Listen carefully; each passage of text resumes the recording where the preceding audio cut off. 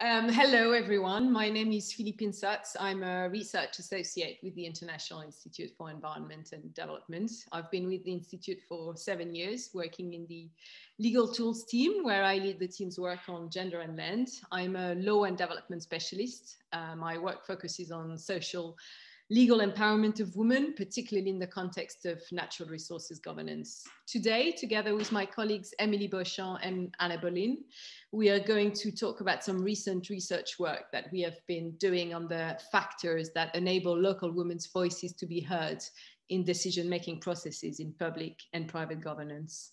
Hi, my name is Emilie Beauchamp, and I'm a senior researcher in the monitoring, evaluation, and learning team at IIED.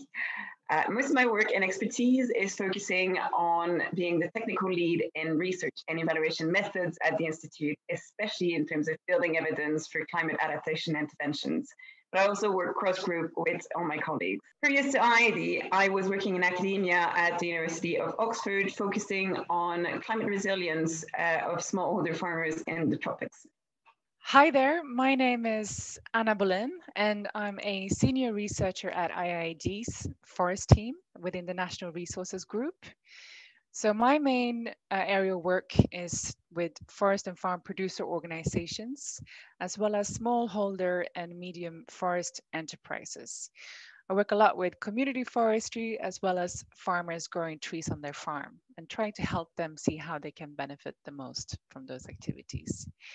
Prior to joining IIED, I was working within an NGO who focused on policy for forestry globally. So I was focusing on the REDD mechanism. Some of you may know it. It's reduction from emissions from forest degradation and forest deforestation. So that's a little bit about me and a pleasure to be with you here today. I wanted to start this presentation today with this quote by our director Andrew Norton, which I think nicely sums up IIED's work and really highlight how voices and decision making are core to what IIED does. In fact, although IIED's research groups focus on specific and diverse issues such as the governance of natural resources, climate change, sustainable market, all our projects are actually characterized by a similar approach because we really work bottom up to amplify marginalized voices. So why did we decide to focus on local women's voices in public and private governance? Why does it matter? Women make half of the world's population. They should be able to actively participate and express preferences and views everywhere decisions are made. Women's voices in private, economic, and public life should be a key component for gender equality and women's empowerment. In fact, women's participation in decision making processes is a target under SDG 5. Um, it was also the focus of the last session of the Commission on the Status of Women. In our work at the community level, we have, however, noticed that local women's voices are consistently underrepresented in governance bodies and processes. Um, this relates to public governance, such as in the case of local councils and committees making decisions on the use of natural resources, for instance, but also private governance bodies, like in the case of uh, producer organizations and cooperatives. Uh, our work shows that decision making processes in, in sectors such as land, climate change, conservation, and forest entrepreneurship are consistently dominated by men, and that women's needs and interests are rarely taken into account. Of course, there are projects and programs which focus on women's participation, but they remain an exception. We believe that local women's participation should be much more integrated systematically into programming. But how? How to do that? Active and effective participation is complex. It requires multiple factors. There is also, for now, limited evidence of what works to ensure that women's voices are really heard in decision making processes across fields. We have therefore decided to review some of our work from various sectors to better identify the factors that enable or constrain local women to participate in governance. We're hoping that this will pave the way for a more integrated approach to women's participation in governance. So to that effect, we have selected three case studies from different areas of our work, which all had some level of focus on women's participation in public or private governance. One is from our land governance work in Tanzania, the second from our decentralized climate finance work in Senegal, and the last one from our forest and farm producer organizations work in Ghana. So I'll start by presenting the Tanzania case study, and then my colleague Emilie and Anna will take over and present their work from Senegal and uh, Ghana. So let's start with the Tanzania case study, um, which focuses on land. In Tanzania, as in many other parts of Africa, land is a pressured resource. It is affected by many factors, and one of them is uh, large scale land based investment. When land is given away or taken by an investor, um, community can be negatively impacted, and often women are more affected by men. Um, this is due to a variety of reasons, but one of them is the fact that women are often not involved in decision making on land, on which piece of land is given away. And this is despite the fact that Tanzania actually has a progressive legal framework on uh, women's participation in land governance. The national framework provides for a minimum number of women to be members of local decision making bodies making decision on, on land. Um, however, this legal framework is poorly implemented and more often than not, women members do not attend meetings for um, a variety of reasons. Our partner TAWLA, the Tanzania Women Lawyers Association, has actually developed an approach to strengthen local women's participation in decision making processes on land by how they call it bringing the law home. This is done through the adoption of gender sensitive village bylaws. Village bylaws are subsidiary rules which are enacted locally and regulate local life, including the use of natural resources and um, social and cultural relation, for instance. And the idea of TAWLA was to include in these bylaws provisions on women's participation in decision making processes. The rationale behind this approach is that when adopting their own rules, villagers will know them and implement them better. The approach for adopting such bylaws is participatory. It is based on extensive community dialogue and the promotion of local ownership. Since 2016, TAWLA has actually implemented the approach in six districts across four regions in Tanzania. And a recent study in some of the villages where the bylaws were adopted shows that women have been more present and vocal during meetings, and also that they had an increased knowledge of their land rights. So, what have we learned from this process? Well, we've learned that quotas and legislation on women's participation are not enough per se, but they are an important starting point. Um, they do provide a legal ground for supporting approaches to strengthen women's voices in our case, this really allowed TAWLA to replicate the approach in an important number of villages and districts across the countries. We've also learned that local rules are an effective tool to ensure that national legislation is implemented locally, and in particular, the one on women's participation. Then, from a more process perspective, we've um, learned that having community in the driving seat is incredibly important. In our case, um, they were co-leading the process, which really um, contributed to um, local ownership of the process, which is key to sustainability. And we've learned that collaboration with local authorities is also essential. TAWLA actually worked closely with district and village authorities um, everywhere they've been working. And finally, we've also learned that local rules um, that provide community wide benefits contribute to local ownership. Um, the fact that the bylaws were not only including rules on women's participation, but other kind of rules, um, really eh, rules which were benefiting other community members, was really part of their success. Thanks, Philippine, for presenting the experiences from Tanzania. I'm now going to share reflections from the Devolved Climate Finance, or DCF, mechanism piloted in Senegal. In a nutshell, DCF is an approach to adaptation planning and financing that puts communities at the heart of decisions for investing in local climate resilient projects or infrastructures. So a core component of the approach is engagement and involvement of communities. To date, the DCF mechanism has been piloted in Kenya, Tanzania, Mali, and Senegal. But today, we're going to look at lessons from Senegal more specifically, based on a pilot that took place from 2015 to 2019 through the DFID-funded program Building Resilience and Adaptation to Climate Extremes and Disasters, or BRACED. The DCF approach works by devolving decision-making for investment and adaptation at the lower levels possible and directly including communities in the process. That means that inclusion of different social groups is critical to make sure the investments will truly respond to the needs of the most vulnerable, including women and girls.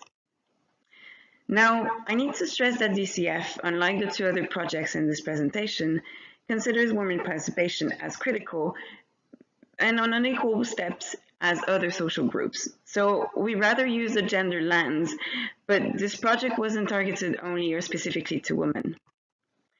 That said, gender positive actions were implemented at different key stages of the process. For example, there were specific steps for engaging and consulting with women and women's groups separately when involving communities at the beginning of the project. Also, quotas were used to ensure a 50% representation of women in local and communal decision-making committees. What this means is that there were different stages where women's priorities specifically were channeled, integrated, and prioritized. This was reflected through decisions on the types of investments. For example, one village's decision to invest in building toilets for girls to be able to attend school.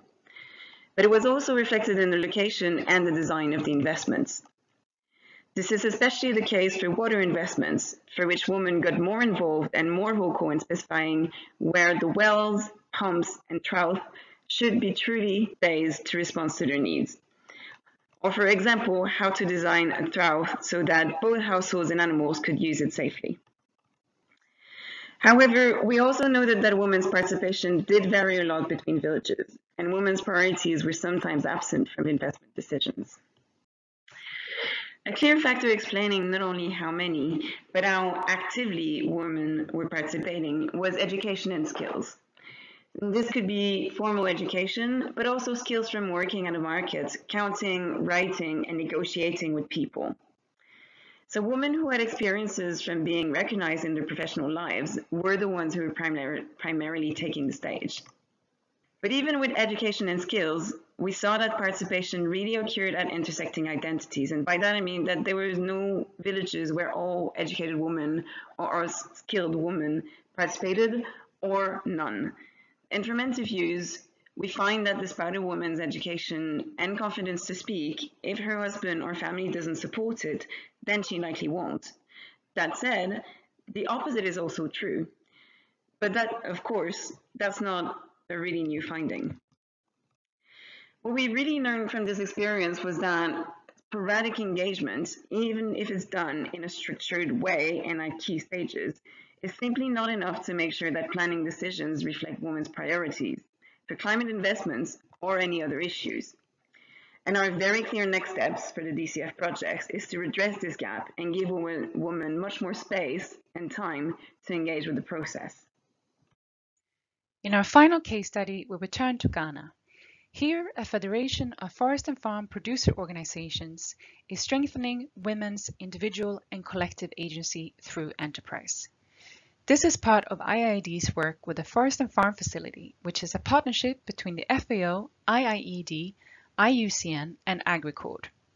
SIDA is the main donor of this 10-country program, and just over 60% of program funding goes directly to producer organizations in the form of partner grants. Although gender equality is not a main focus, it is mainstream throughout and nearly 50% of in-country budgets now go directly to either women's organizations or gender-related activities.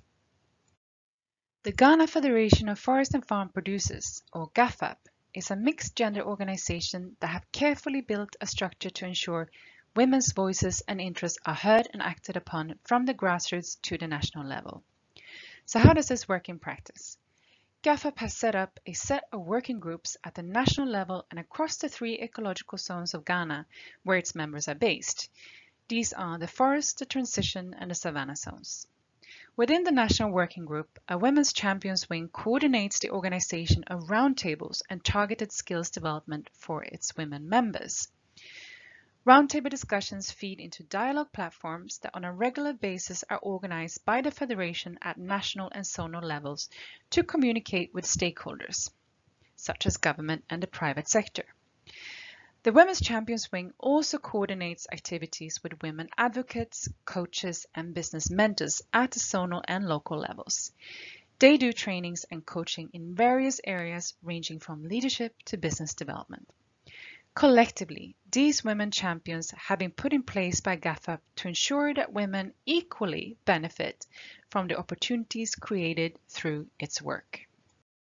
From this organizational setup, GhaFFaP have been able to identify strategic priorities of particular concern to their women members. One of them is the overexploitation and competition over the shea and baobab trees in the savanna zone. This is creating all sorts of problems for women's shea and baobab cooperatives in the region.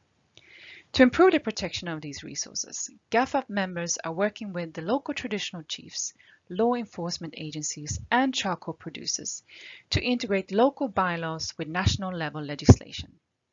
This way, chiefs will get support in the governance of their territories, and charcoal producers who switch from wood to woodlots will get support from GhaFFaP to access higher value markets.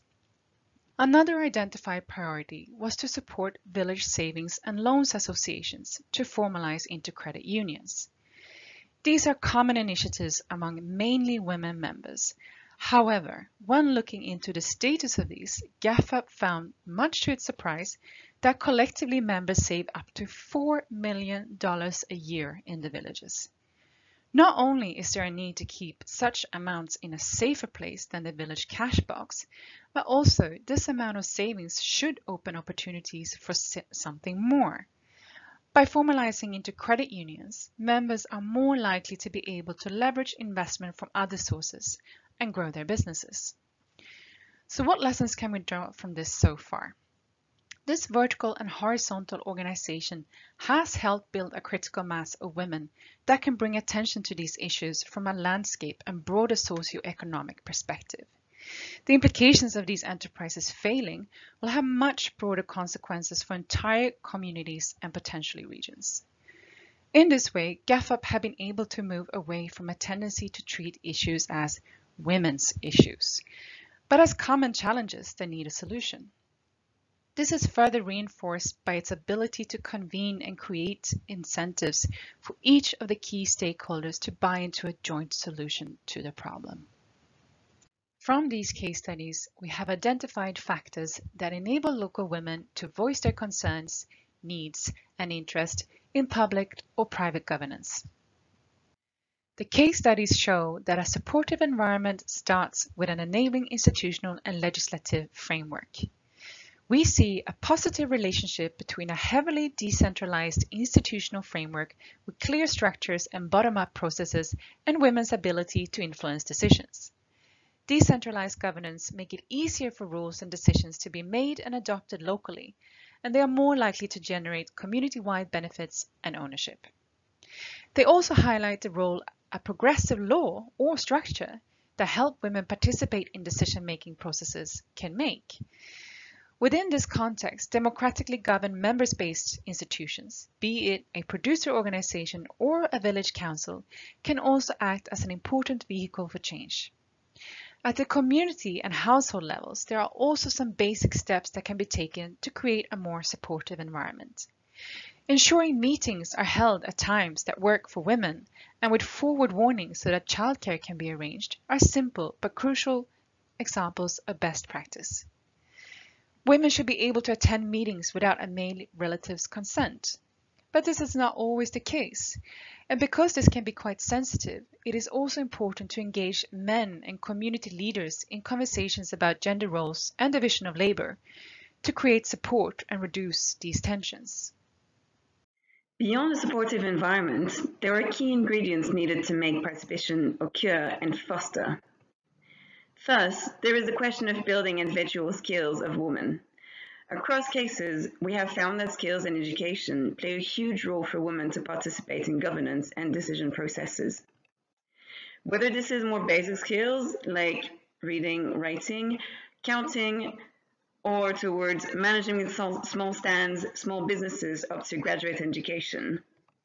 We found that professional and personal individual experiences that give women confidence in speaking out are extremely important. We also found that legal and technical knowledge can elevate a woman's confidence. So women need to know their rights, but also have technical knowledge of the issues at stake, whether this relates to farming, seeds, land, but also how institutions work. But individual skills alone are not enough. Women's group and networks are key not only in amplifying the voices of women who already participate, but also supporting the engagement of new members in these communities. Networks give women support, agency, a common and amplified voice that is more likely to be heard, but also give women role models for more participation. Individual and collective efforts are both needed at the same time in order to build critical mass so voices are heard at scale. Working horizontally and vertically is essential, as we've seen from the reach and influence of women in our Ghana case study.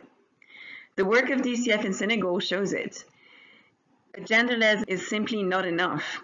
So we need to work on women's participation at devolved local levels and at national policy levels and at every stage of the planning cycles. Women are 50% of the world's population, and it's time to stop treating gender as an add-on. It just doesn't work to truly get critical mass. Doing this means focusing both on short and long-term pathways to get this critical mass.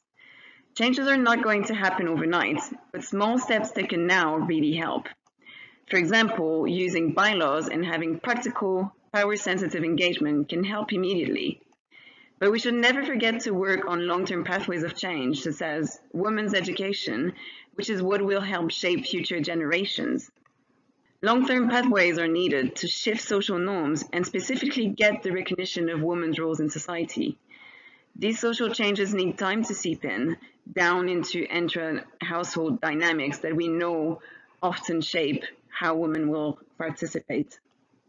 Throughout this work, we've noted several known challenges.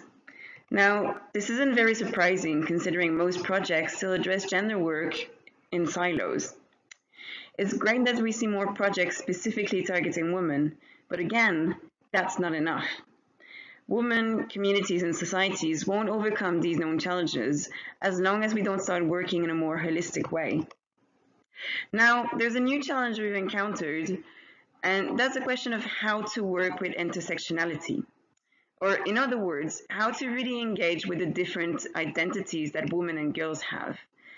We know that women, people, don't identify with just one social group.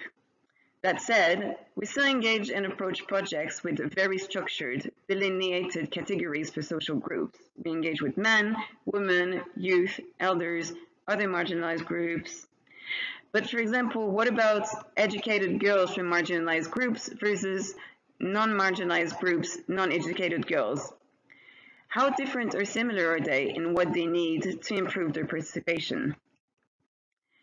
We don't have the answer now, but part of our next steps is to look into how to identify differential experiences of participation first, and then structure project activities accordingly. Here, tools exist, but more application is needed. For example, using power analysis that have inductive and deductive approaches at project inception to avoid falling into classical categories and the trap that they represent. So what's next? Well, these, of course, are initial findings, and there is a need for more fine grained and in depth analysis in order to develop projects and programs which address both the practical and structural constraints to women's voices. Of course, context matters, and there are no blanket solutions. But as a starting point, we would really like to see women's participation in decision making becoming a high priority on national and international agendas. This was actually the case at CSW last month, um, but we need to keep the momentum going and we need to develop ambitious programs which promote better and gender sensitive governance in all sectors. Governance and decision making processes are everywhere. They are at the core of societies and communities, and they shape the world of tomorrow. Thank you.